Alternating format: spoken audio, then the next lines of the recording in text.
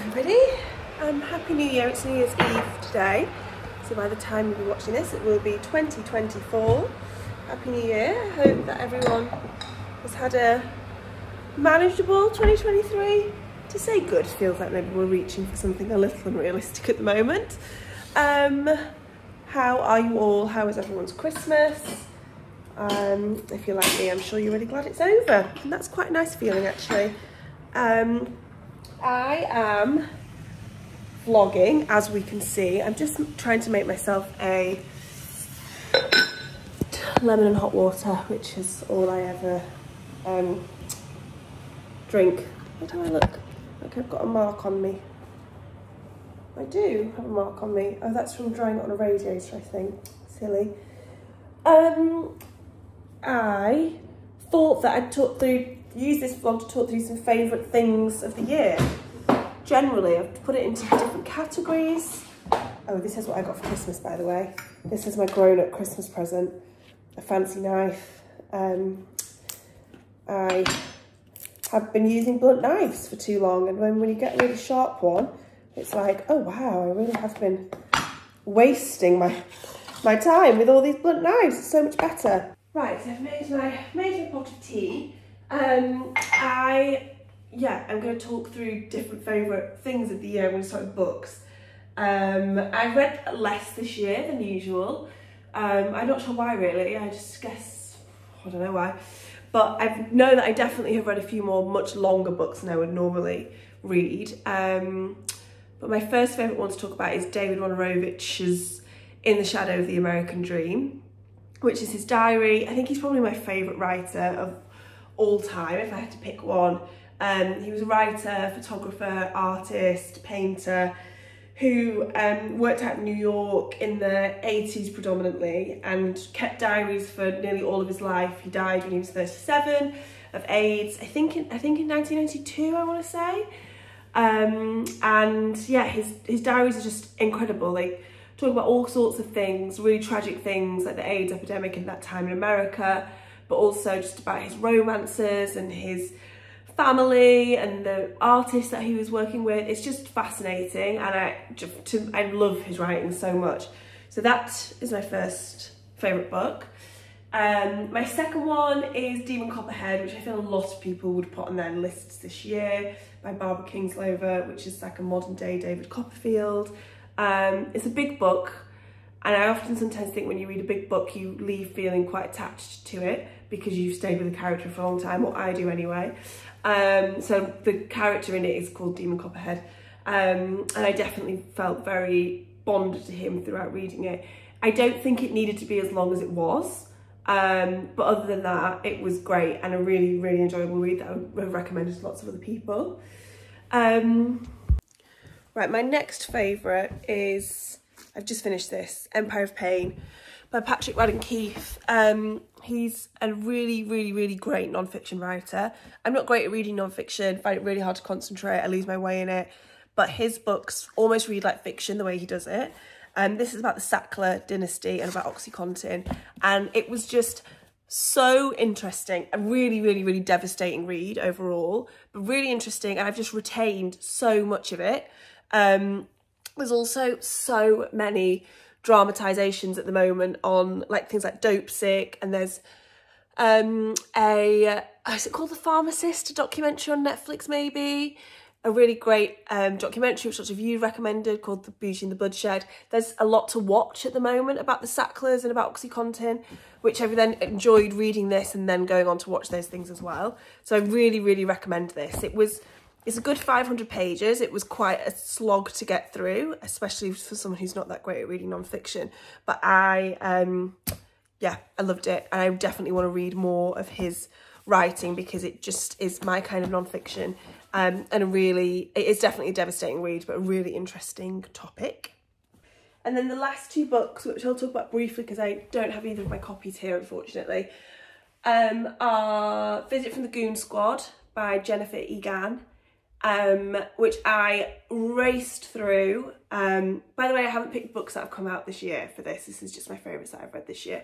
Um, but yeah, I raced through that. I enjoyed it so much. The last chapter I didn't love, unfortunately, and apparently the sequel focuses very much on the that theme that the last chapter introduces. So I'm not going to be reading the sequel, I don't think. But I, it was great. I liked how all the characters crossed over and how many characters she introduced, and yet you still feel super attached to them. There's so many where I was like, oh, I want to know more about that, and I want to know what happens next. And um, yeah, really, really good read. I read it on holiday actually and really enjoyed it. Um, and my final one that I've really enjoyed this year is The Virgin Suicides by Jeffrey Eugenides. Eugenides. I have Middlesex to read on here by him. A friend gave me her copy, um, but I've not read that yet. So I, I um, will maybe read that next year. But um, The Virgin Suicides was so good. And then again, a really great film to watch after it. I really enjoyed the, like, I think it's Sofia Coppola that, Coppola that does... Um, that directed The Virgin. In fact, it definitely was. And it's got a great soundtrack by Air as well. Um, and was really enjoyable to like watch that come to life after having read it. Um, it's definitely seen as a classic and for very good reason. So those are my five favourite books of the year. Um, I'm going to drink my tea. I'm cooking tonight, I'm hosting and cooking, so I'm sort of prepping and sorting the house out a little bit. Um, so I'm going to get sorted with stuff and keep sharing favourites and things as I get ready throughout the day.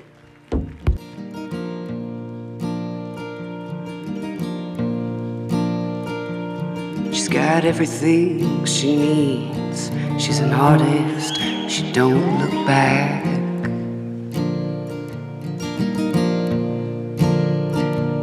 She's got everything she needs. She's an artist, she don't look back.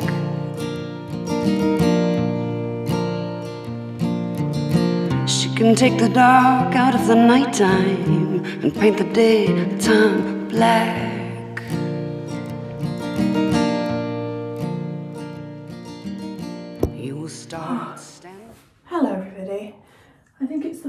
4th of January now. I woke up with tonsillitis on New Year's Day. So I've been laying low, I've got a cold sore now, still full of cold, still got tonsillitis, I'm on antibiotics. So I've been laying low and resting up because I have felt so unwell. I haven't had tonsillitis in a long time and forgot how bad it could be. Um, so yeah, I've just been resting a lot and being good and healthy and wholesome and just sleeping and drinking lots of liquids and all of those great things. So I apologise for how rough I look, but it is a representation of how I feel.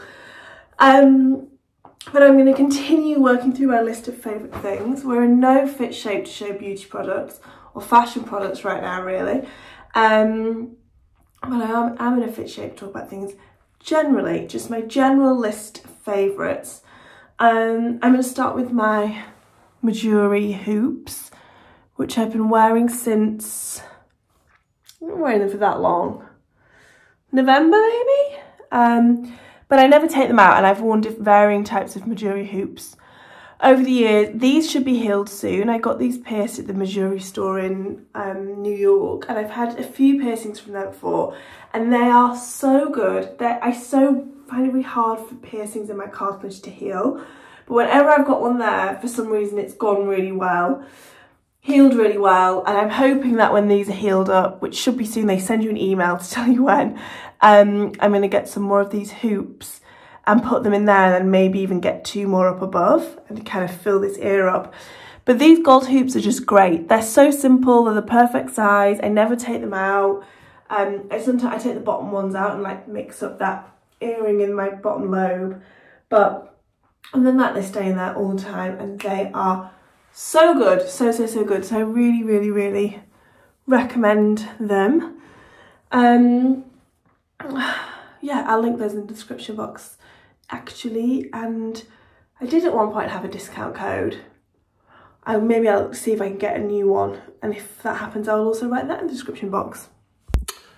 Right, another general favourite, which has been a big one of this year, are these little Bialetti coffee pots. I think this is the two cup one, which I used to make one cup.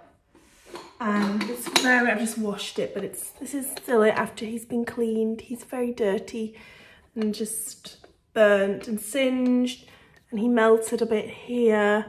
So they, they did well. Most things in my care end up having a lot of wear and tear to them. And I also have this big one. I think this is a six cup one. I use this for two coffees. So definitely making two strong coffee. And then for Christmas, my mum got me this beautiful Alessi one that I'm just scared to use because I don't, this was the, the same colour silver when I got it. They start off very shiny and light. Um, and I don't want this to face the same fate. I think this looks great, really worn in. But this, I think, looks great and like a space age object and needs to be really shiny. So I'm using it sparingly, but it's beautiful. I'll link them both. But this just makes the best coffee. And then I just use my little milk frother to make like a flat white every morning. And I genuinely often prefer the coffee that I manage to make at home with this than the coffee that I would go and buy in a shop. Um, and it makes your whole kitchen smell like brewed, freshly brewed coffee. It's so nice. One of my most um, enduring favourites of this year and the year before is crosswords. This is my crossword book that I do at home here. It's the Times one, book three. I wish I could say I'd completed book one and two and on, I'm on to the trilogy but that would be a lie. I haven't actually ever done one of these crosswords the whole way through without having to Google one of the answers. They are hard, but it is one of those things that you notice yourself getting a lot better at. I also do the New York Times one on my phone on flights um, and try and remember to do like the mini on there every single day. Um, and this has been such a weirdly social thing to just have out on this table. It's constantly here, open on the table and people always socialise in the kitchen and will come and sit down and often like have a cup of tea or a glass of wine or whatever and start doing a crossword. Um, and it's just actually odd, oddly social. It's been so nice to have here. Um, I'm sure you can just get these on Amazon and I'm sure they're really inexpensive. I have a general knowledge one or not, but um, that was impossible. Um, possible for somebody a lot more intelligent than me, but that was not me. Um, so yeah, crosswords I can't recommend enough. And if you ever do, I do finish some of the New York Times ones without having to look up any of the answers. And the sense of superiority you get from it is unmatched. I'm just um, on my way out, as you can see, wrapped up the nines.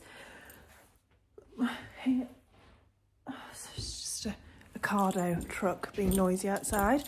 Um, just about to sit in a car for an hour I want to talk about my next general favourite. AirPods in general, I think this is my third AirPod over probably about six years maybe. So maybe they're not getting that many points for lasting that long, but there's kind of a lot of compartments you can lose and break within these, I find. Um, these, my last one, my last AirPod Pros that I had, I probably had for about three years, I would say, and they broke, and they broke a few weeks ago because the lid stopped like fully closing. Um, so I replaced them with the latest AirPod Pro. They're expensive. I think they were like 260 pounds or something. I use them every single day. They are non-negotiable when I'm leaving the house. These, the noise cancelling on these is so, so, so, so, so good. I personally find the AirPod Pros more comfortable than the classic AirPods, but I know lots of people who have that the other way around.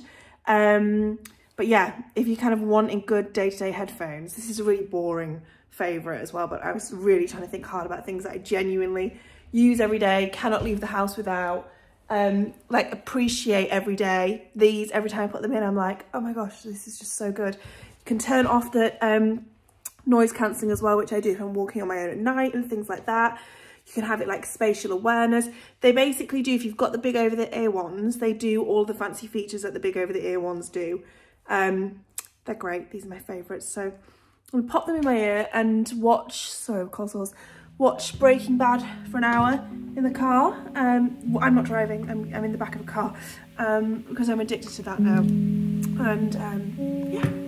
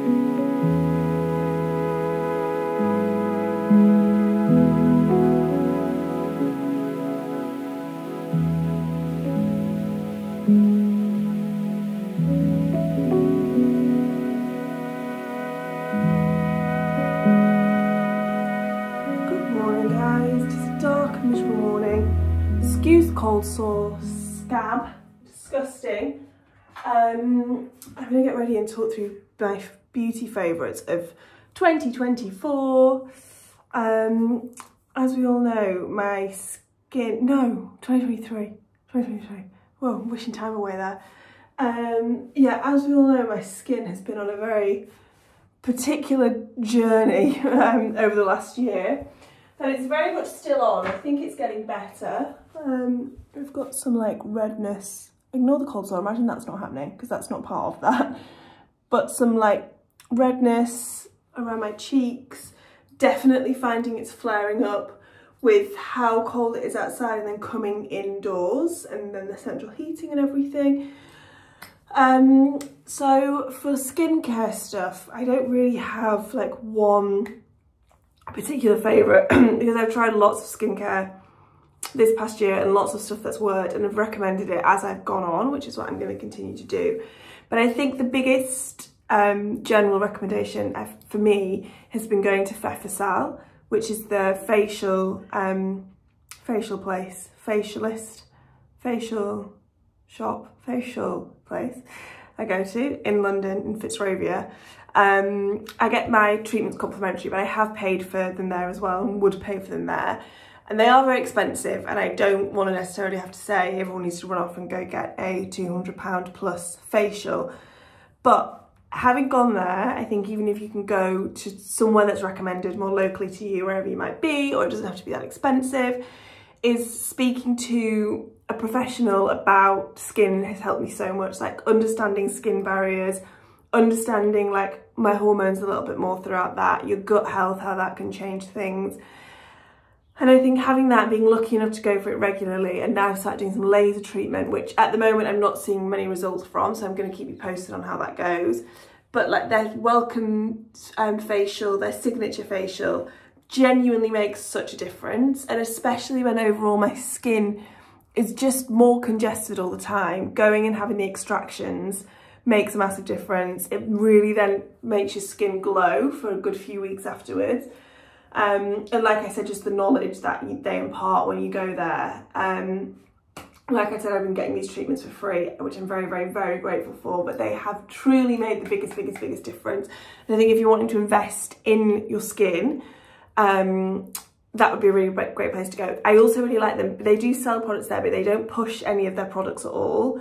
So you could definitely have a conversation um, with them about what ingredients you need to be using for your skin. And then, then they're not then going to try and sell you like a 100 pound pot of cream before you leave. They'll just have that conversation with you. And if you want to buy something, they're great because they have great brands, but they really don't push it on you. So you could go and have that conversation and then find the skincare that you want from like La Roche-Posay or something way more affordable. Um, so yeah, it also is just very relaxing and lovely to go there too. So I think that's been, for me, the biggest skincare changer over this year and I'm very grateful for them to have offered me so many free treatments. So that is my big skincare recommendation. Um, at the moment, the two things I'm using in the morning, and other than SPF, this Paula's Choice Replenishing Moisturiser. I don't think I love it. So I saw it recommended on TikTok and I bought it. Um, but yeah, I'm not wild about that. Also, I've just read on the back it says PM. Oh no, then it says once or twice daily. Okay, that's misleading. And then this um, Emma Lewisham eye cream. It's one of the, I've never used one of these products that do the boop thing and it's very satisfying and her packaging is lovely. Definitely too clunky for an eye cream if you're traveling, I think, but I'm not traveling and so I'm really enjoying it. But yeah, my first absolute favourite of this year has been this deodorant. AKT I still don't know how you say it, I should have looked that up. Um, I've never been a natural deodorant girly. If anything, they, I feel like my body rejects them and I get smellier. Um, this is the only natural deodorant I've ever, ever, ever had that works. It comes with a big gold key, which doesn't come, you have to buy as well.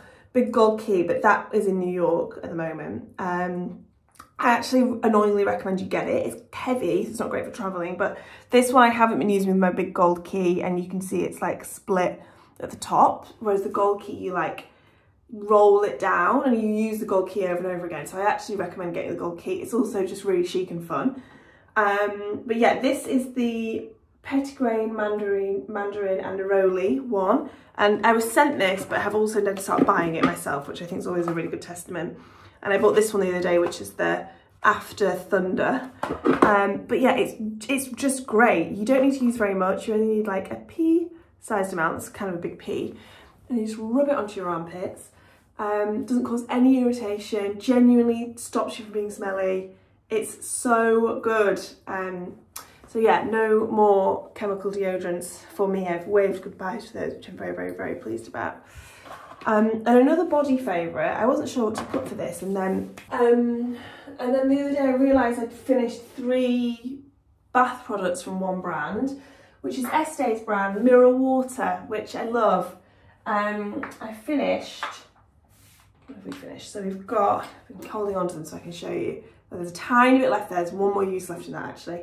The smooth body oil, which I love. I put this like all over my skin when I'm at the shower. The scrub which I use in the bath. It's called the Buff, sorry, the body exfoliator. That's completely gone. Everything smells really nice.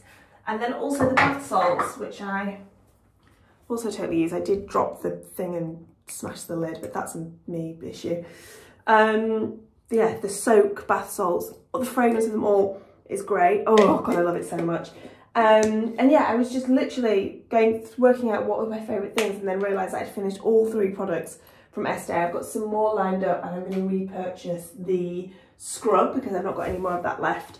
Um, but no bigger testament to actually having finished lots of product and especially bath products which I feel can end up lasting your lifetime. Not to um, call you out mum but I'm pretty sure mum has some bath products that she's probably had since like the early 2000s at this point. um, so I think getting through them is a real good testament. Um, and yeah, they all smell great and feel really, really nice on your skin. So I've been loving those. And makeup wise, I've got two things which I'm going to use as well. One of them is quite new in my makeup routine because I've started wearing a bit of foundation again, which I haven't worn in a long time. Um, and it's the Glossier Stretch Foundation. I've been a long time fan of the Stretch Concealer um, and tend to use that and only that like around the center, down into my face and over any spots. And then as my skin's not been the best, I've been having to use over more and more of my face and then thought, hang on, this is now when I should be using a foundation as opposed to like rubbing a concealer all over my face. So I started using this. You only need a tiny amount and the coverage is really light, very much what you'd expect from Glossier, like very true to your own skin, but Look at that. Like you can still see a little bit, which I actually really don't mind because I want my skin to look like skin. a bit more on there. But it's really glowy, really light. You don't need very much either. So I've been using this every single day and it has been making me feel a lot better in these bleak, bleak winter months and just a lot glowier. Voila, pretty good. No? And then my final favourite, got two of them here. These I think are everyone's favourites this year. The Merit blushes. This is one in Beverly Hills, which is lots of people's favourite, but it's not very much, doesn't change my skin very much. And cheeky, which I really like. Um, it kind of looks intimidatingly dark. Sometimes I use them on my lips as well, which I'm definitely not going to do right now. But you just go boop boop and then rub it in and it's so creamy it's so nice. It really just I've made my skin very red there because I've rubbed it too hard. But it really blends really really nicely into your skin. Um, and yeah I've been using this every day. I also think this will last an entire lifetime because you just need the tiniest tiniest tiniest amount. So those are my two beauty well makeup faves I suppose. Um, and yeah, I'll just finish doing the rest of my makeup and then make a coffee, the number of times I say and then make a coffee on this YouTube channel. Um, and then we've just got fashion, fashion faves and some music to talk about. Um, yeah. Right, I'm jumping about a bit through my favourite categories here, favourites categories. Um, but I want to talk about sunglasses um, and J. Crew sunglasses in particular. I wore these and the tortoiseshell version I have, which is in New York, so, so, so much this summer. I just tried to find them online. They're not, the exact ones aren't available anymore, but J.Crew do have a tendency to put things back in stock even once they've discontinued them. So hopefully they will do that. I will also try and find out from them.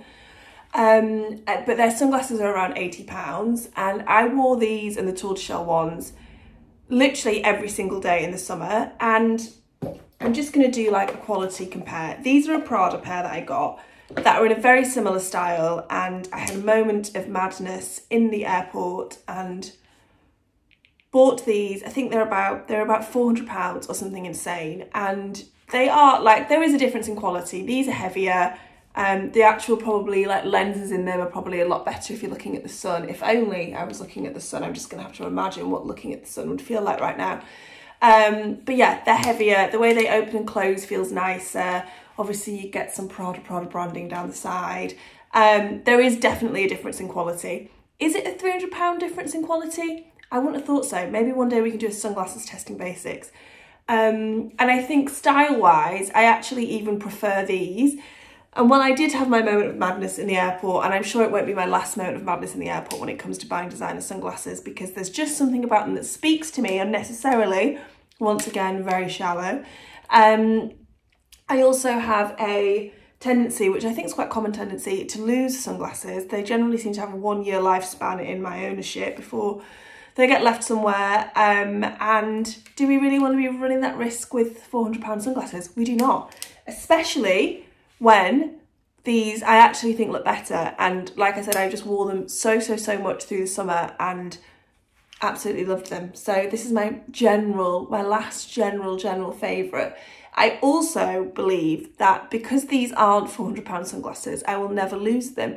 I have pairs of sunglasses from like Topshop even that I've had for eight or nine years or something. Anything that's sort of over £200, I'm going to lose.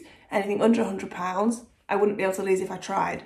That's just the way the world works. So J. Crew sunglasses, these specific ones aren't in stock, but they do have lots of other styles and I wouldn't be surprised if these do come back in stock in the summer.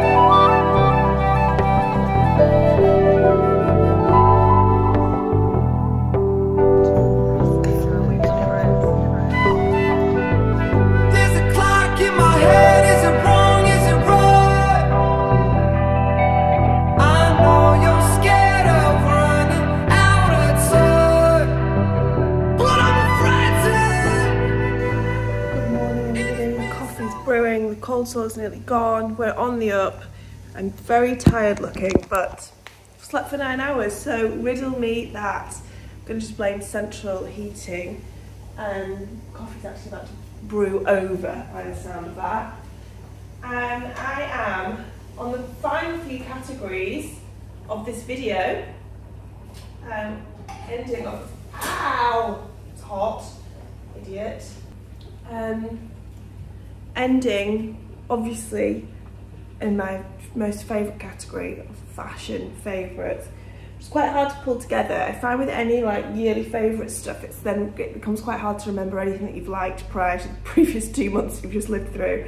Um, so I went through my own Instagram, which is always a really awful task to have to do, um, and pulled together things I've been wearing the most. This is quite a recent purchase, but it's a brand that I've loved very consistently over the years and it's and daughter their knitwear is great. I'm doing a testing basics knitwear at the moment and i am going to hopefully include them. I'm just waiting for something to come back in stock. Um, because they're expensive. I was sent this but i have bought things from them in the past as well. Um, but it's so warm. It, this is the cashmere jumper. It's considerably warmer than the uniqlo ones that i have and I reach for it every single day and the fit of it is great. And we all know a navy jumper is just my holy grail really. It's my Roman Empire as they say. Um, and I never don't feel good wearing a navy jumper and I know you'll probably sit to the back teeth of me wearing them and seeing me wear them. Look at that lovely coffee. But they just make me feel great. So that is my first favourite. It's a bit it's got a little um, sort of lump on it from drying it on a radiator, but it debobbles really well. It's just really, really a great knitwear. So that's my first fashion favourite. And then because I knew I had to start with a navy jumper, I worked backwards from there to sort of what has been my most favourite and trusty outfit combination that all goes together as well. Unfortunately, one of the pieces I don't have here with me in London, um, which is which is my Our Legacy third cut jeans. Those are in New York, um, but I'll put a picture of me wearing them here and you've seen them a million and one times.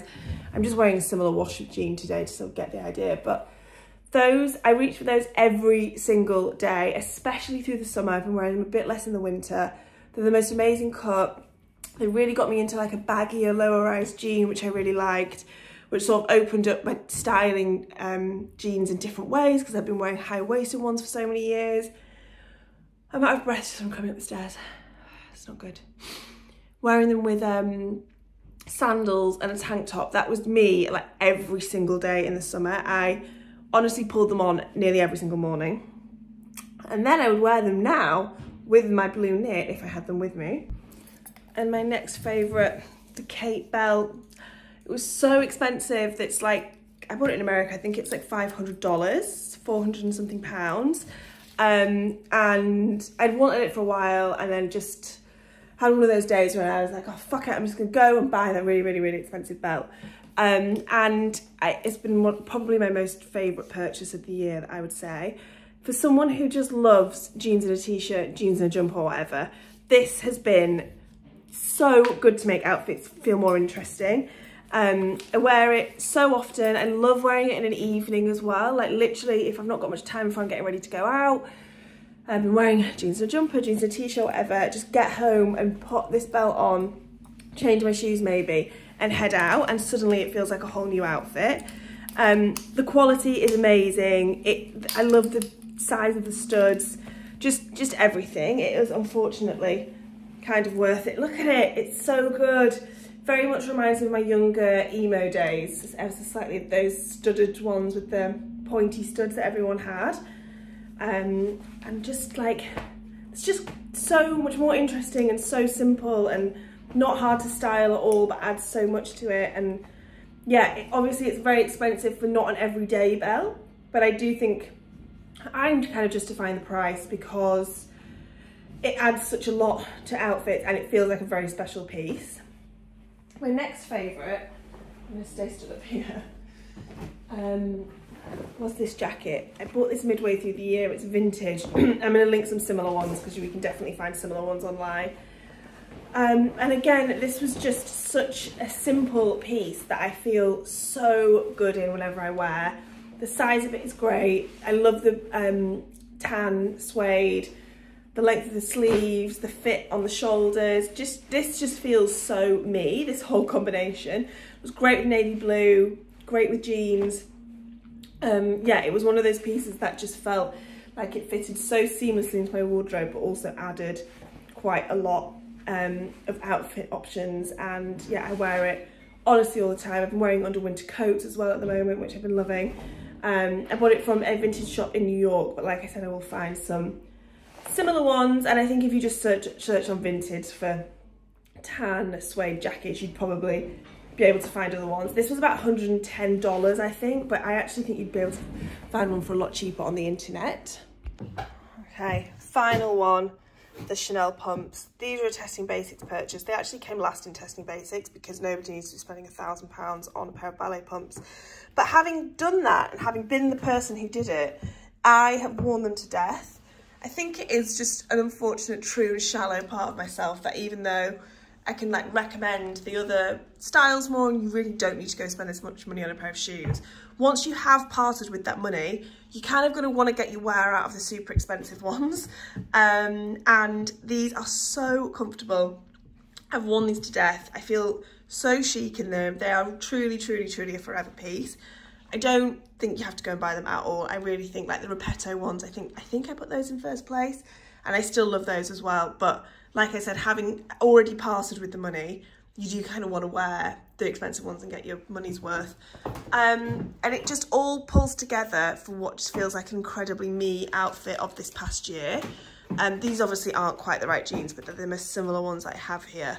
Um, and I would continue to wear this over and over and over again now and just change it for boots, obviously, and a coat or whatever to make it more weather appropriate. A t-shirt in the summer it feels like such a perfect base and one that I've reached for so many times and quite nice that all of my favourites have come together to make this outfit almost uniform like for me I suppose of how often that I would just put this on and feel really really great in it and yeah I think it's really chic I love the tan with the um, blue wash jeans all, all of it. I just feel so like myself in this. So yes these are my fashion favourites